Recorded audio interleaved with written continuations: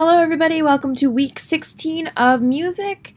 This week you have another worksheet, so please make sure that you are paying attention and following the directions to get to that worksheet link and completing it and finishing it, submitting it so you can get your points for this week's music lesson.